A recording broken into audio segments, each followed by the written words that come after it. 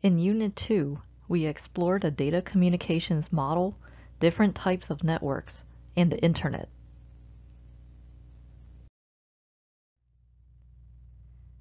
From the previous unit, we looked at a simple communications model. As we go from source to destination, voltage shifts may occur and the transmitter will need to convert the incoming digital bit stream into an analog signal suitable for transmission. As the analog signal gets to its destination, the receiver will need to convert the analog signal back to the digital bit stream. In a telephone conversation, the sound waves from our voice are converted into electrical signals, but the signal will distort as it travels across the medium, causing the destination signal to not be exactly the same as the original signal since there are no attempts at correction or improvement of signal quality.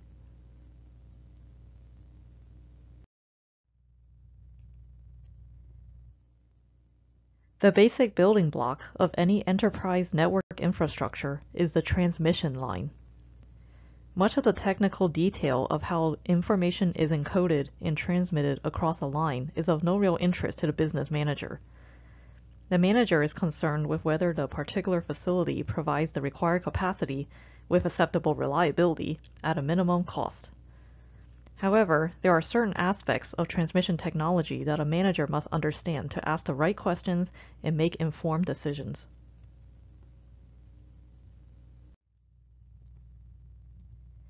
One of the decisions a business user must make is a transmission medium. The two popular mediums driving data communications is fiber optic and wireless transmissions. Fiber optic communication transmits information from one place to another by sending pulses of infrared light through an optical fiber. It is cheap, has high capacity, and is difficult to tap, so it's more secure. Wireless communication involves no physical link established between two or more devices. Wireless signals are spread over in the air and are received and interpreted by appropriate antennas. It provides mobility for the user and allows a user to connect anytime and anywhere.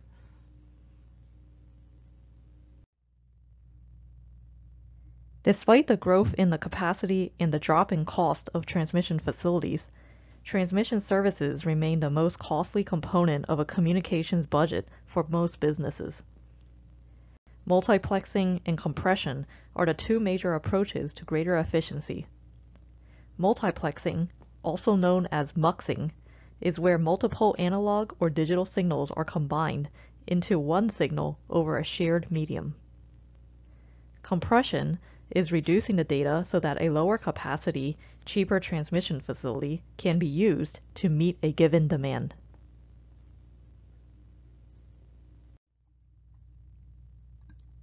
The estimate for 2016 is that there is over 20 billion fixed and mobile network devices.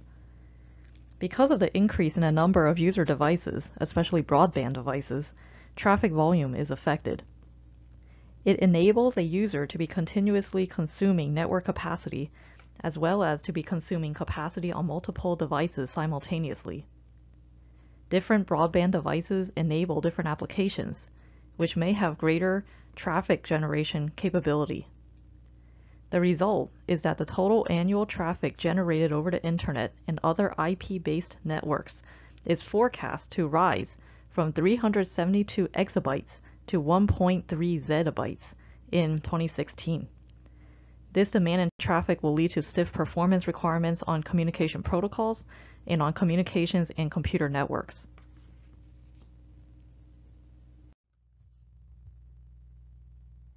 A business need for a robust network to support voice, data, image, and video traffic is not confined to a single office building or LAN. Today, it is an enterprise-wide communication requirement. Luckily, advances in technology have allowed this integration to occur and increased capacity of networks to be able to support the different types of traffic.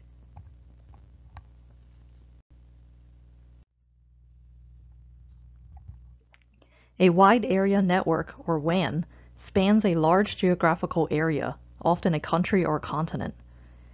They typically rely at least in part on circuits provided by one or more common carriers, which are companies that offer communication services to the public.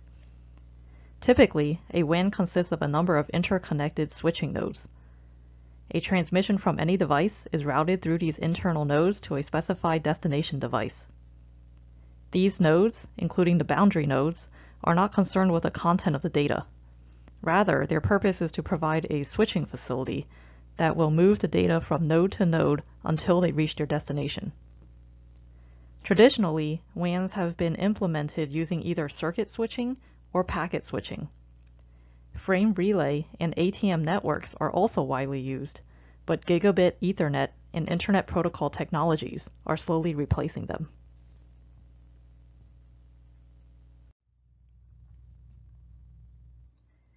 A circuit switched network is a type of network where the communications between end devices or nodes must be set up first before they can communicate. A dedicated physical path or circuit has to be established first before communication can take place. An example of circuit switching is a telephone network. So in circuit switching, let's say we have you who want to talk to me we must set up this physical dedicated connection first before we can even begin communicating.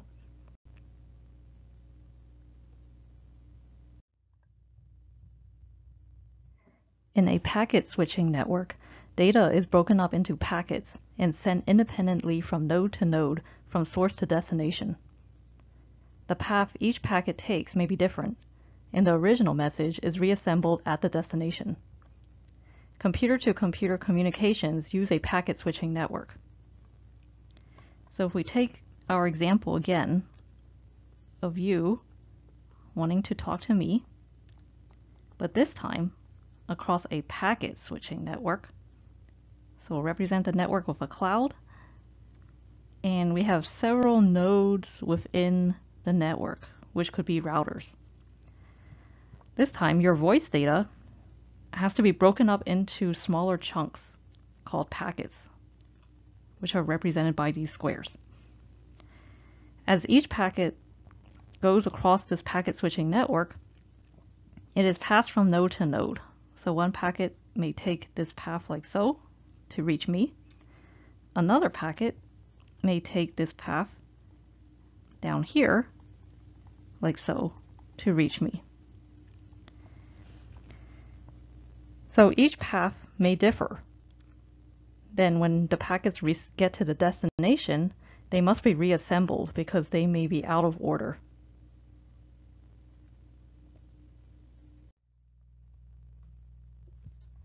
Frame Relay is a packet switching wide area network technology designed for cost-efficient data transmission for intermittent traffic between local area networks and between endpoints in wide area networks.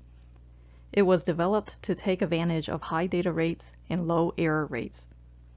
Frame relay networks are designed to operate efficiently at user data rates of up to 2 megabits per second, rather than the original packet switching networks at a data rate of about 64 kilobits per second. Frame relay achieves these high data rates by stripping out most of the overhead involved with error control.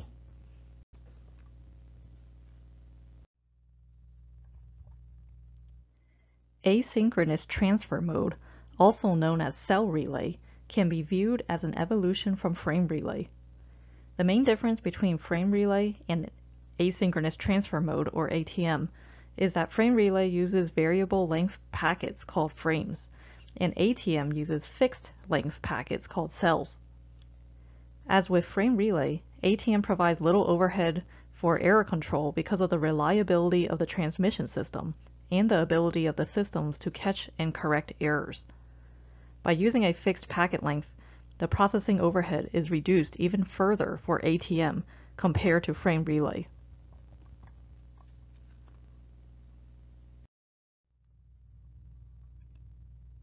Local area networks, generally called LANs, are privately owned networks within a single building or campus of up to a few kilometers in size. They are widely used to connect personal computers and workstations in company offices and factories to share resources for example printers, and exchange information. The internal data rates of LANs are typically much greater than those of WANs, and the most common configurations are switched LANs and wireless LANs.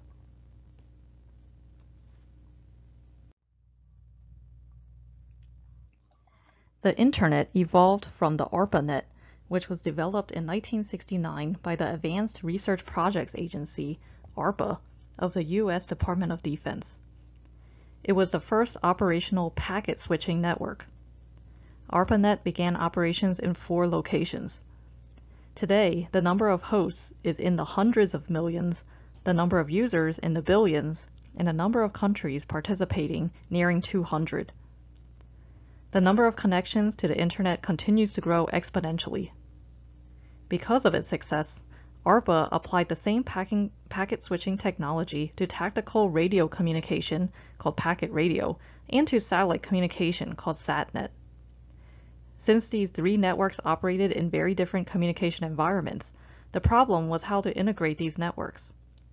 The solution eventually became what we know of as the Transmission Control Protocol slash Internet Protocol or TCP/IP protocol suite.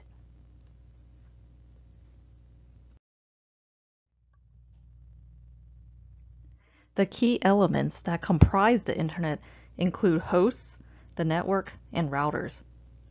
The purpose of the Internet is to interconnect end systems called hosts, which include PCs, workstations, servers, mainframes, and others.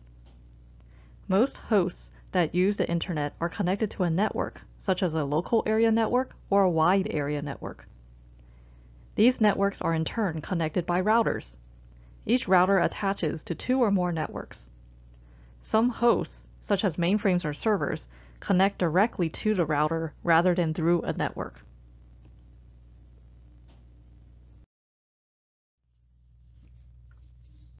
The Internet today is made up of thousands of overlapping hierarchical networks.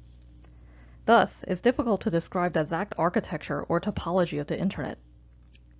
A key element of the Internet is the set of hosts attached to it. A host is essentially a computer. Today, computers can include mobile phones and even cars. All of these can be hosts on the Internet. Hosts are sometimes grouped together in a LAN, which is a typical configuration in a corporate environment. Individual hosts and LANs are connected to an Internet Service Provider, or ISP, through a point of presence, or POP. The connection is made in a series of steps, starting with the Customer Premises Equipment, or CPE. The CPE is a communications equipment located on site with the host.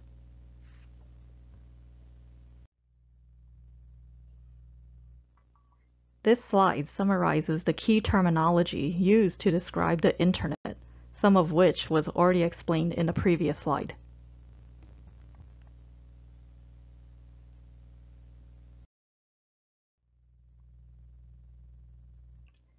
The figure shows some of the typical communications and network elements in use today.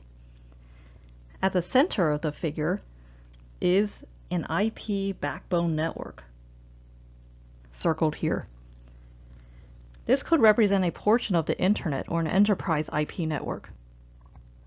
Typically, the backbone consists of high-performance routers called core routers interconnected with high-volume optical links. At the periphery of an IP backbone are routers that provide connectivity to external networks and users. These routers are sometimes referred to as edge routers which are used within an enterprise network to connect a number of routers and switches to external resources, such as an IP backbone or a high-speed WAN. The upper part of the figure, circled here, depicts a portion of what might be a large enterprise network.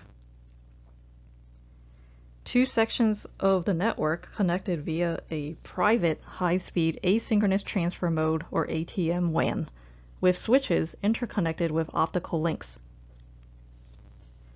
In the lower left of the figure, what we see is what might be configuration for a small or medium-sized business, which relies on an Ethernet LAN configuration. The lower portion of the figure also shows an individual residential Wi-Fi network where the residential user connected to an internet service provider through some sort of subscriber connection, such as a digital subscriber line or DSL, which provides a high-speed link over telephone lines and requires a special DSL modem. Finally, mobile devices, such as smartphones and tablets, can connect to the internet through the public cellular network, which has a high-speed connection, typically optical, to the internet as well.